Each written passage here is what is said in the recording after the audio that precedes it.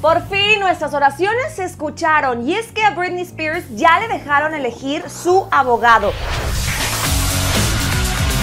Y aunque esto parece como muy obvio y un derecho que todos tenemos, Recuerden que Britney Spears es, es otro caso.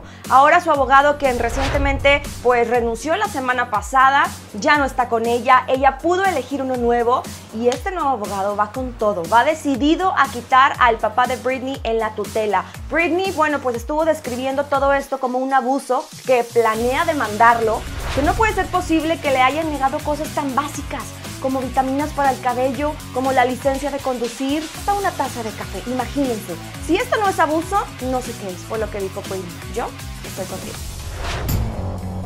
Por favor que ahora suenen las campanas, sí, porque estos dos se casaron. Oye, llevan bien poquito, su relación ha ido como muy intensa, pero bueno, ¿quiénes somos nosotros para juzgar? Estoy hablando de Kourtney Kardashian y Travis Barker, que pues están diciendo que el fin de semana se casaron en Las Vegas que ahí su estilista estuvo compartiendo algunas imágenes y puso, ahora entiendo por qué la gente se casa en Las Vegas, lo que levantó sospechas. Y anteriormente una amiga de Kourtney pues había comentado en una de sus fotos de que me encanta verte feliz y puso un emoji pues de novia. ¿Ustedes qué opinan? ¿Creen que se casaron o fue como, bueno, no fue, es una estrategia de marketing como siempre lo han hecho?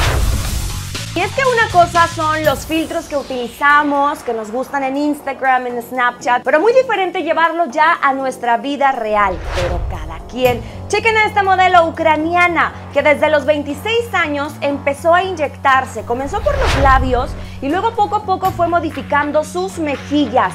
Que la gente le dice, oye, ya están súper grandes. Y ella dice, no, de hecho están muy pequeñas, yo quiero más. Anteriormente y antes de que estuviera inyectada, bueno, la gente le decía a sus amigos, sobre todo, que estaba muy fea, que parecía ratón. ¿Tú crees?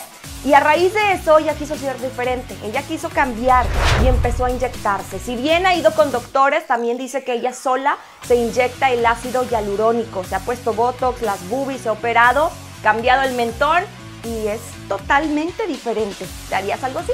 Hasta aquí con todas las notas que son tendencia en las redes sociales. Yo soy Jess de León y esto es Zona MLC. ¡Vámonos!